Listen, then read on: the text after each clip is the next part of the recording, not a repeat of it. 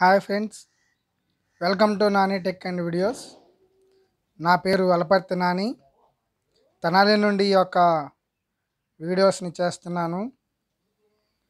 ముందుగా బయాలజీ అనే సబ్జెక్ట్ని స్టార్ట్ చేస్తున్నాను.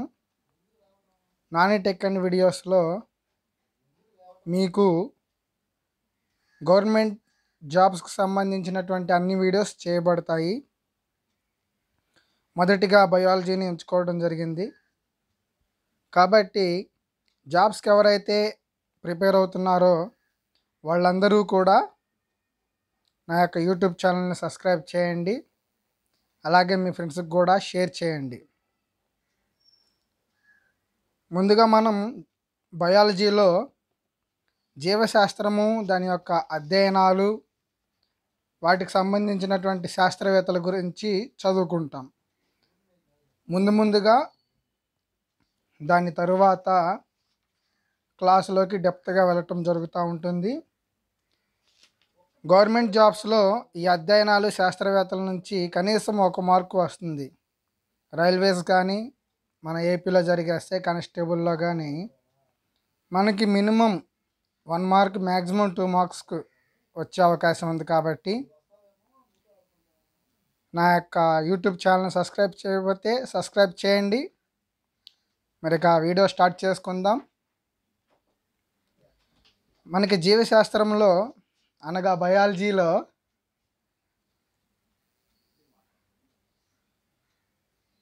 మనము జీవశాస్త్రాన్ని స్టార్ట్ చేసుకుందాం. మొట్టమొదటిగా జీవశాస్త్రం అంటే ఏమిటి అనగా ఇది గ్రీకు పదం నుండి పుట్టినటువంటి పదం. బయోస్ లాగోస్ అనేటువంటి రెండు పదాల నుండి బయాలజీ పుట్టింది. బయోస్ అనగా జీవం లాగోస్ అనగా శాస్త్రం. బయాలజీ అనే పదాన్ని ప్రవేశపెట్టినది Jean Lamarck Jean Lamarck అనేటువంటి వ్యక్తి బయాలజీ అనే పదాన్ని ప్రవేశపెట్టాడు. ఇతను ఫ్రెంచ్ దేశస్థుడు. కానీ దీని యొక్క పితామహుడు అరిస్టాటిల్. జీవశాస్త్రానికి పితామహుడు అరిస్టాటిల్. జీవశాస్త్రం అని పేరు పెట్టింది మాత్రం జీన్ లామార్క్. ఓకే? అరిస్టాటిల్ అనేటువంటి వ్యక్తి గ్రీకు దేశానికి చెందినటువంటి వ్యక్తి. ఈయన హిస్టోరియా ఎనిమేలి అనేటువంటి గ్రంథాన్ని రచించాడు. అలాగే రెండవ ఇందులో మనం చూసుకుంటే కణం. మనకి కణం అనేది ప్రతి జీవికి కావలసినటువంటి ముఖ్యమైనటువంటి నిర్మాణం. నిర్మాణాత్మక క్రియాత్మక జీవానికి సంబంధించింది కణం. ఇక కణశాస్త్రాన్ని ఏమంటారు అంటే సెల్ బయాలజీ లేదా సైటాలజీ అంటారు. కణశాస్త్ర పితామహుడు రాబర్ట్ హుక్. రాబర్ట్ హుక్ అనేటువంటి శాస్త్రవేత్త మైక్రోగ్రాఫియా అనేటువంటి గ్రంథాన్ని రచించాడు. అలాగే ఇతను నిర్జీవ కణాన్ని కనుగొన్న వారు ఎవరయ్యా అంటే రాబర్ట్ హుక్. అలాగే సజీవ కణాన్ని కనుగొన్నవారు Antonie van Leeuwenhoek. Robert Hooke అనేటువంటి వ్యక్తి నిర్జీవ కణం కనుగొన్నాడు. అంటే జీవం లేదు. సజీవంగా ఉన్నటువంటి కణాన్ని కనుగొన్న వ్యక్తి లివెన్ హుక్. పూర్తి పేరు ఆంటోనీ వాన్ లివెన్ హుక్. మొదటిసారిగా మైక్రోస్కోప్ వాడి ఈయన ఈ కణాన్ని కనుగొన్నాడు. ఎలక్ట్రాన్ మైక్రోస్కోప్ను కనుగొన్న వారు ఎవరయ్యా అంటే నాల్ మరియు రస్క్ వీరిద్దరూ ఎలక్ట్రాన్ మైక్రోస్కోప్ని కనుగొన్నారు. కణం తర్వాత ఏంటయ్యా? కేంద్రకం. ఈ కేంద్రకం గురించి అధ్యయనం చేసే శాస్త్రాన్ని కార్యాలజీ అంటారు. కార్యాలజీ అనగా కేంద్ర గురించి అధ్యయనం చేసే శాస్త్రం. కేంద్రకాన్ని కనుగొన్నది ఎవరు? Robert Hooke. కాదు రాబర్ట్ బ్రౌన్ అనేటువంటి వ్యక్తి కేంద్రకాన్ని కనుగొన్నారు. మనం ఇక్కడ నేర్చుకోవాల్సింది ఎవరు? ఏంటిదంటే కనుగొన్న వ్యక్తి ఎవరు? పేరు పెట్టింది ఎవరు? దానికి ఫాదర్ ఎవరు? ఇలా మూడు విషయాలు ఉంటాయి. దాన్ని మనం నేర్చుకోవాలి. ఏంటి? కనుగొన్న వ్యక్తి దాని యొక్క ఫాదరు దానికి పేరు పెట్టింది. మరి కేంద్రకం తర్వాత అందులో ఉండేటువంటి నిర్మాణాలు ఏంటంటే డిఎన్ఏ మరియు ఆర్ఎన్ఏలు ఉంటాయి కేంద్రకంలో. డిఎన్ఏ మరియు ఆర్ఎన్ఏల యొక్క శాస్త్రాన్ని మాలిక్యులర్ బయాలజీ అంటారు. ఈ డిఎన్ఏ ఆర్ఎన్ఏలను వాట్సన్ మరియు క్రిక్లు దాని యొక్క నిర్మాణాన్ని అధ్యయనం చేసి వారు కనిపెట్టారు కాబట్టి డిఎన్ఏ మరియు ఆర్ఎన్ఏ యొక్క ఫాదర్ అని ఎవరన్నా అనొచ్చు అంటే వాట్సన్ మరియు క్రిక్లను మాలిక్యులర్ బయాలజీ పితామహులుగా పరిగణిస్తారు. అలాగే కణజాలాలు ఇలా కణాలన్నీ కలిసి ఏర్పడేదాన్ని కలజాలం అంటారు. ఈ కణజాలం గురించి అధ్యయనం చే- చేసే శాస్త్రాన్ని హిస్టాలజీ హిస్టరీ కాదు హిస్టాలజీ. కణజాలం గురించి అధ్యయనం చేసే శాస్త్రం హిస్టాలజీ. మరి కణం కణం అంటున్నాం. ఈ కణం మరి పిండం ఉండిద్ది కదా. ఆ పిండం కూడా ఒక కణం లాంటిదే కాబట్టి పిండోత్పత్తి శాస్త్రిని పిండోత్పత్తి శాస్త్రాన్ని ఎంబ్రియాలజీ అంటారు ఇంగ్లీష్లో. పిండోత్పత్తి శాస్త్రాన్ని ఎంబ్రియాలజీ. ఫాదర్ ఆఫ్ ఎంబ్రియాలజీ ఎవరయ్యా? అరిస్టాటిల్ మరి అరిస్టాటిల్ దేని మీద ప్రయోగం చేశాడంటే కోడి పిండం మీద ప్రయోగం చేశాడు. అరిస్టాటిల్ కోడి పిండం మీద ప్రయోగం చేశాడు. అలాగే మానవుని యొక్క పిండోత్పత్తి శాస్త్ర పితామహుడు వాన్బేర్. మామూలుగా ఫాదర్ ఆఫ్ ఎంబ్రియాలజీ అనగానే అరిస్టాటిల్ అని చెప్పాలి. కానీ మానవ పిండోత్పత్తి శాస్త్ర పితామహుడు అనగానే von Baer father of modern embryology. Von Baer father of modern embryology. Von Baer. మరి వృక్షాల మీద వృక్షాల యొక్క పిండోత్పత్తి శాస్త్రాల మీద అధ్యయనం చేసినటువంటి వ్యక్తి ఆచార్య పంచానన్ మహేశ్వరి. ఆచార్య పంచానన్ మహేశ్వరి. ఈ విధంగా పిండోత్పత్తి శాస్త్రం గురించి మనం ఎంబ్రియాలజీ అంటారు. మరి పిండం అంటున్నాము. మరి దాని తర్వాత మైక్రోబయాలజీ సూక్ష్మ జీవశాస్త్రం జీవశాస్త్రం అనగా అన్ని జీవుల గురించి చెప్పేది. కానీ సూక్ష్మ జీవశాస్త్రం అనేది మైక్రోబయాలజీ అనేది మనకు కంటికి కనిపించిన వాటిని చిన్న చిన్న వాటి గురించి కూడా చెప్పిద్ది. మరి దీని యొక్క ఫాదర్ ఎవరయ్యా అంటే లూయిస్ పాచర్ లూయిస్ పాచర్ అనేటువంటి వ్యక్తి ఈ వైరస్లు బ్యాక్టీరియాల మీద ప్రయోగం చేయటం వల్ల father of microbiology Louis Pasteur ఈయన పాశ్చరైజేషన్ అటువంటి ప్రక్రియను కనుగొన్నారు. అంటే పాలను పాశ్చరైజేషన్ చేస్తాం కదా. ఆ యొక్క ప్రక్రియను కనుగొన్నది లూయి పాశ్చర్. మరి సూక్ష్మ జీవశాస్త్రంలో ముందుగా ఎవరయ్యా వచ్చేదంటే వైరాలజీ. మరి మనందరం కరోనా సమయంలో ఉన్నాము. మరి ఇళ్ళ దగ్గర ఉండి ఇలా చదువుకుంటున్నామంటే ఈ యొక్క వైరస్లే కారణం ఈ యొక్క రోగాలన్నిటికీ. ఓకే వైరస్ల గురించి అధ్యయనం చేసే శాస్త్రాన్ని వైరాలజీ అంటారు. వైరస్లను కనుగొన్న శాస్త్రవేత్త ఇవానో విస్కీ ఇవానో విస్కీ అనేటువంటి వారు వైరస్లను కనుగొన్నారు. గుర్తుపెట్టుకోండి కనుగొన్నవారు ఇవానో విస్కీ. మరి వైరస్ల తర్వాత వచ్చేది ఎవరయ్యా అంటే బ్యాక్టీరియా. బ్యాక్టీరియాల గురించి అధ్యయనం చేసే శాస్త్రాన్ని బ్యాక్టీరియాలజీ అంటారు. ఓకే మరి ఫాదర్ ఎవరయ్యా అంటే Robert Koch. Father of bacteriology. Robert Koch ఈ యొక్క ఫాదర్స్ని మీరు ఖచ్చితంగా గుర్తుపెట్టుకోవాలి. మరి జీవం అయిపోయింది వైరస్లు అయిపోయినాయి తర్వాత వచ్చేది అంటే మొక్కలు. మరి మొక్కల గురించి అధ్యయనం చేసే శాస్త్రాన్ని బోటనీ బోటనీ అనగా వృక్ష శాస్త్రము. మొక్కల గురించి అధ్యయనం చేసేది బోటనీ దీని యొక్క పితామహుడు థియోఫాస్ట్రస్ థియోఫాస్ట్రస్ థియోఫాస్ట్రస్ అనేటువంటి వ్యక్తి హిస్టోరియా ప్లాంటారం అనేటువంటి గ్రంథాన్ని రచించారు. Hysteria plantarum. బాటనీకి సంబంధించినటువంటి బుక్ ఈ క్రింది వాటి లేదని అడుగుతారు.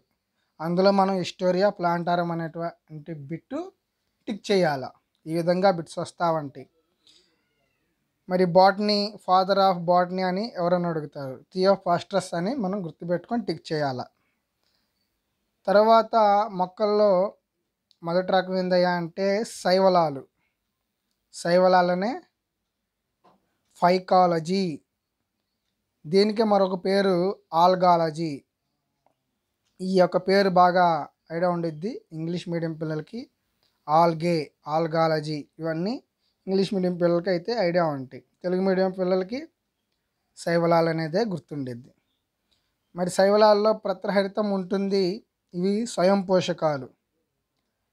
మరి మొక్కల్లో అనేక రకాలు ఉన్నాయి. తాలోఫైటా బ్రయోఫైటా టెరిడోఫైటా ఇలా రకాలు ఉన్నాయి. శైవలాలు అనేటువంటివి తాలోఫైటా మొక్కల్లో ఉంటాయి. మరి ఫైకాలజీ లేదా ఆల్గాలజీ యొక్క పితామహుడు ఫ్రీడ్స్. ఫ్రీడ్స్ అనే వ్యక్తి దీని యొక్క పితామహుడు. మరి ఇప్పుడు దాకా విదేశీయులు వచ్చారు. మరి ఈ యొక్క వీడియోలో మన ఇండియన్ కూడా ఉన్నారు. ఎవరయ్యా అంటే ఎంఓపి అయ్యంగార్ అనేటువంటి ఇండియన్ పైకాలజీ పితామహుడు. ఇండియాలో శైవలాల మీద అధ్యయనం చేసింది ఎవరు అని బిట్టొస్తే ఎంఓపి అయ్యంగార్ అనేది ఆన్సర్. పితామహుడు మన ఇండియాలో పితామహుడు. శైవలాల తర్వాత శిలీంధ్రాలు. ఈ శిలీంధ్రాల యొక్క అధ్యయనాన్ని మైసిటాలజీ అంటారు. శిలీంధ్రాల యొక్క అధ్యయనం మైసిటాలజీ. ఇందులో పత్రరహితంగా ఉంటుంది. పత్రహరితం అనేది ఉండదు. శైవలాల్లో పత్రహరితం ఉంటుంది స్వయం పోషితాలు. శిలీంధ్రాలు అనేటువంటివి పరపోషితాలు. ఎందుకంటే పత్రహరితం లేదు కాబట్టి. మరి శిలీంధ్రాలకి మనకు బాగా తెలిసినటువంటి ఎగ్జాంపుల్ పుట్టగొడుగులు. పుట్టగొడుగులు అనేటువంటివి శిలీంధ్రాల్లోకి వస్తాయి. మనకి బిట్ వచ్చిద్ది. పుట్టగొడుగులు అనేటువంటివి శైవలాలు శిలీంధ్రాలు తలోఫైటాకు చెందినవి ఇలా వస్తాయి అన్నమాట మనం ఏం చేయాలి? శిలీంధ్రాలు అని పెట్టాలన్నమాట ఆన్సర్. మరి మైకాలజీ పితామహుడు శిలీంద్ర శాస్త్ర యొక్క పితామహుడు మైకేలి గుర్తుపెట్టుకోండి. Mycology Micheli. ఈ విధంగా ఈజీగా గుర్తుపెట్టుకోవచ్చు. మైకాలినే మైసిటాలజీ అని కూడా అంటారు. మైకాలజీకి మరొక పేరు మైసిటాలజీ. మర్చిపోవద్దు. ఓకేనా? ఇప్పుడు బిట్ని ఎలా ఫ్రేమ్ చేయొచ్చు అంటే శిలీంద్ర శాస్త్రం. A mycology. B mycetology. ఇలా ఇస్తాడు. సి యొక్క ఆప్షన్లో ఏ మాత్రమే? డి ఆప్షన్లో ఏ కమా బీలు రెండు అని ఇస్తాడు అప్పుడు ఏం చేయాలి? ఏ కమా బీలు రెండు అని మనం టిక్ చేయాల్సి ఉండిద్ది. మైకాలజీ మైసిటాలజీ అని. దాని తర్వాత బ్రయోఫైటా. గుర్తుపెట్టుకోండి బయాలజీ కాదు. బ్రయోఫైటా. బ్రయాలజీ. బయాలజీ కాదు బ్రయాలజీ. బ్రయోఫైట్ అనేటువంటి వృక్షరాజ్యంలో ఆ మొక్క మొక్కల యొక్క రకాలు వర్గీకరణ. వీటిని ఈ మొక్కల్ని ఏమంటారు? బ్రయోఫైటా మొక్కల్ని వృక్షరాజ్యపు ఉభయచరాలు అని పిలుస్తారు. గుర్తుపెట్టుకోండి. వృక్షరాజ్యపు ఉభయచరాలు అనగా శిలీంధ్రాలు శైవలాలు బ్రయోఫైటా మొక్కలు అనిస్తాడు. ఇందులో ఏం చేయాలి? బ్రయోఫైటా మొక్కలని టిక్ చేయాలి. బ్రయాలజీ పితామహుడు బ్రాన్. గుర్తుపెట్టుకోండి. Bryology Braun. ఇందాడ mycetology Micheli. Bryology Braun ఈ విధంగా వాటి యొక్క పితామహులను గుర్తుపెట్టుకోవచ్చు. బ్రయాలజీ తర్వాత టెరిడోఫైటా మొక్కలు. టెరిడోఫైటా యొక్క మొక్కల అధ్యయనాన్ని టెరిడాలజీ. ఇందులో మనకి ఇంగ్లీష్లో చూసుకుంటే పి అనేది సైలెంట్. ఇలా చాలా వాటిలో సైలెంట్ లెటర్స్ ఉంటాయి. దాన్ని మీరు గమనించాలా? మనకి బిట్స్ అనేవి తెలుగులో కన్నా ఇంగ్లీష్లో మీరు ఎక్కువ చూసుకోవాలి. ఆన్సర్ టిక్ చేసేటప్పుడు. ఎందుకంటే తెలుగులో తప్పున్నా ఇంగ్లీషు ద్వారానే మనకు మార్కులు కన్సిడర్ చేయబడతాయి కాబట్టి ఇంగ్లీషు తెలుగు మీరు రెండు కంబైన్డ్గా చదువుకుంటేనే మీరు తప్పులు లేకుండా ఆన్సర్ టిక్ చేయడానికి వీలుండిద్ది. ఇక్కడ చూడండి బయాలజీ అని ఉంది. బ్రయాలజీ ఇక్కడ తేడా ఏంటది? ఐఓ ఇక్కడ బిఆర్వై ఇలా తేడాలు ఉంటాయి. మీరు జాగ్రత్తగా గమనించుకోండి. సరే టెరిడాలజీ. టెరిడాలజీ మొక్కలు అనేటువంటివి నిజమైన నేల మొక్కలు. దీని గురించి నేను మీకు తర్వాత వచ్చే చాప్టర్లో చెప్పబడిద్ది. ఇంత మట్టికి నేర్చుకోండి. టెరిడోఫైటా యొక్క మొక్కల అధ్యయనాన్ని టెరిడాలజీ అంటారు. ఈ టెరిడోఫైటా అన్నం బ్రయోఫైటా అన్నం అయిపోయింది ఇక్కడ. మరి వీటిలో రకాలు ఏమైనా ఉన్నాయా అంటే వివృత బీజాలు అవృత బీజాలని ఉంటాయి. మరి వివృత బీజాల యొక్క అధ్యయనాన్ని జిమ్నాలజీ గుర్తుపెట్టుకోండి. వివృత జిమ్నాలజీ వివృత బీజాల అధ్యయనం జిమ్నాలజీ. ఓకేనా? వివృత బీజాల అధ్యయనం జిమ్నాలజీ. ఏంటయ్యా అంటే విత్తనం చుట్టూ కవచం ఉండదంట. వేటికి? వివృత బీజాలకి. విత్తనం చుట్టూ కవచం లేనివి వివృత బీజాలు. మరి విత్తనం చుట్టూ విత్తనం చుట్టూ కవచం గల బీజాలను అవృత బీజాలు అంటారు. ఓకే విత్తనం చుట్టూ కవచం గల బీజాలు అవృత బీజాలు. విత్తనం చుట్టూ కవచం లేని బీజాలు వివృత బీజాలు. వివృత బీజాల అధ్యయనం జిమ్నాలజీ. వివృత బీజాల అధ్యయనం జిమ్నాలజీ. మరి అవృత బీజాల అధ్యయనం ఆంజియాలజీ గుర్తుపెట్టుకోండి. జిమ్నాలజీ ఆంజియాలజీ ఆంజియాల్ అనగా అవృత బీజాలు. ఆంజియాలజీ అనగా అవృత బీజాలు. మరి ఇంకోటి ఇక్కడ చూడొచ్చు. యాంజియాలజీ అనగానే రక్తనాళాల అధ్యయనం అని కూడా అంటారు. మీకు ఆప్షన్లు వస్తాయి. మీరు చెక్ చేసుకోవాలా? యాంజియాలజీ అనగా రక్తనాళాల అధ్యయనం ఆవృత బీజాల అధ్యయనం. ఏ మరియు బీలు రెండు సరైనవి. ఏ కామా బీలు తప్పు అని ఇస్తాడు ఇందులో సి ఆప్షన్. ఏ కామా బీలు సరైనవి. రక్తనాళాల అధ్యయనం రైటే. యాంజియాలజీ ఆవృత బీజాల అధ్యయనం అనేది కూడా రైటే. ఓకేనా ఫ్రెండ్స్? మరి ఈ రోజుకి వీడియో ఎంత మట్టికి చేస్తున్నాను. సార్ మరి ఈ అధ్యయనాలు శాస్త్రవేత్తల్లో నేను అటు ఇటుగా పది పార్ట్స్ ఉన్నాయి. ఓకేనా? అటు ఇటుగా వన్ ఫిఫ్టీ పాయింట్స్ ఉంటాయి మనకి దాదాపుగా ఇంపార్టెంట్గా. ఈ ఇంపార్టెంట్ వన్ ఫిఫ్టీ దాకా నేను చెప్తాను. అంత మట్టుకు చదువుకుంటే చాలు మిగిలిన ఏదొచ్చినా సరే మీరు ఆప్షన్ల ద్వారా ఈజీగా టిక్ చేయొచ్చు. ఇంత మట్టికి చెప్పింది బాగా రిపీట్ చేసుకోండి. ఫాదర్స్ని కనిపెట్టింది ఎవరు? పేరు పెట్టింది ఎవరు?